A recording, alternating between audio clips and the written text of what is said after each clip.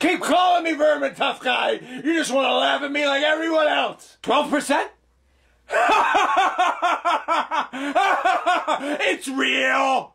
That is the most real, authentic, hysterical laugh of my entire life because that is not a plan.